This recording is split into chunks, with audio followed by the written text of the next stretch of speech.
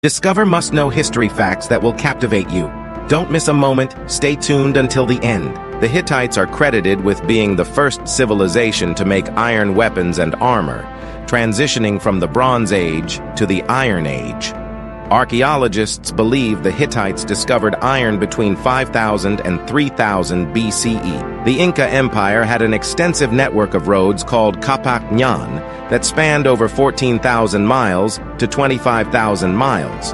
On January 15, 1919, in Boston, Massachusetts, a massive tank containing over 2.3 million gallons of molasses burst due to tank failure.